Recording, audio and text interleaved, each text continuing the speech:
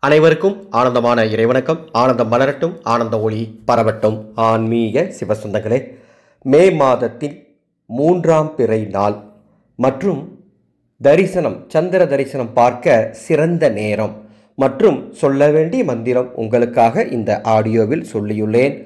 அன்பானவர்களே குலதெய்வ உபாசனை வாட்ஸ்அப் பயிற்சி இருபத்தி ஒரு நாட்கள். நவகிரக உபாசனை வாட்ஸ்அப் பயிற்சி இருபத்தி ஏழு நாட்கள் பொதுவான வாஸ்து குறிப்புகள் வாட்ஸ்அப் பயிற்சி முப்பது நாட்கள். இந்த பயிற்சிகள் வாட்ஸ்அப் மூலமாக தரப்பட்டு கொண்டிருக்கின்றது. இந்த பயிற்சிகளுடைய விவரம் தேவைன்னா என்னுடைய வாட்ஸ்அப் நம்பருக்கு தொடர்பு கொள்ளுங்கள். விவரம் தருகின்றேன். ஒன்பது ஐந்து இரண்டாயிரத்தி இருபத்தி நாலு சித்திரை இருபத்தி ஆறு வியாழக்கிழமை மூன்றாம் பிறை தரிசனம் பார்க்க உகந்த நாள்.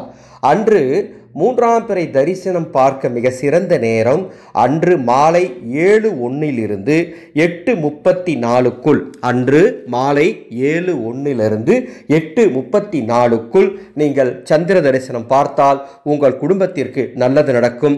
செல்வ வளம் ஏற்படும் மன தைரியம் ஏற்படும். அவ்வாறு சந்திர தரிசனம் பார்க்கும் பொழுது ஓம் மாத்ருகாரகனே போற்றி ஓம்.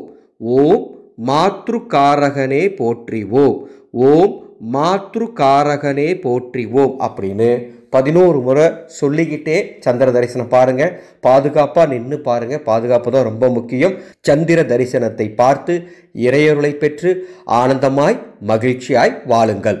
மீண்டும் அடுத்த ஒரு ஆன்மீக தகவலோடு சந்திக்கிறேன். ஆனந்தம் மலரட்டும். ஆனந்த ஒளி பரவட்டும்.